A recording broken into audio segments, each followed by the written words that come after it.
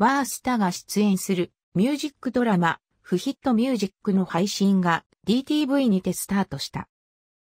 FHIT MUSIC はアーティストの歌唱シーンとその楽曲がフィットするシチュエーションを描いたオリジナルストーリーで構成されるミュージックドラマ。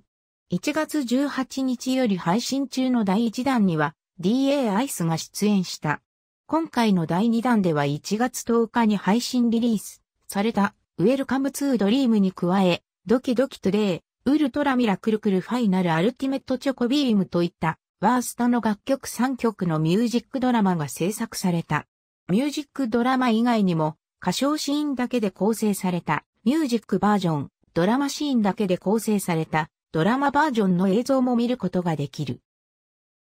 ワースタメンバーが織りなす学園青春ラブストーリーというコンセプトのもと制作されたドラマシーンではワースタの小玉リリカ演じる立花のあすみが友人たちのサポートを受けながら異中の彼に告白する物語が描かれる。本作にはドラマ初出演となったワースタメンバーのほか、女子から熱い視線を集める陸上部のエース役として俳優の間大臣、生徒を見守る担任の先生役としてエブリーリトルシングの伊藤一郎が登場している。